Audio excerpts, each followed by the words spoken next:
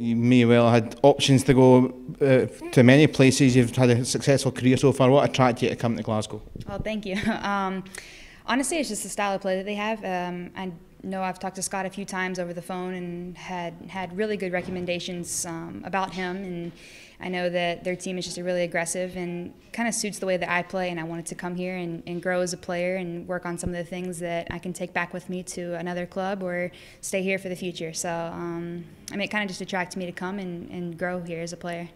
Obviously, there's going to be an interesting title fight. Obviously, Glasgow City are always in there trying to win trophies. Did that affect your thinking about coming to Glasgow?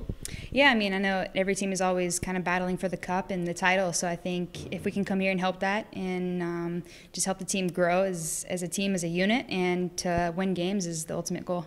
Obviously, it's a long way ahead in October, but Glasgow City got Champions League as well. What do you think it will be like if you can think about that far ahead, uh, competing on the European stage? Mm-hmm.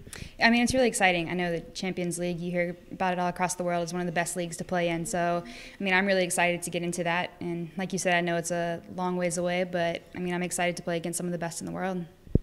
Uh, how's the pre-season? Obviously, you say you've been here for two or three weeks. It's a bit cold and miserable. Uh, has it been? Uh, have you enjoyed this sort of training and getting to know all your teammates?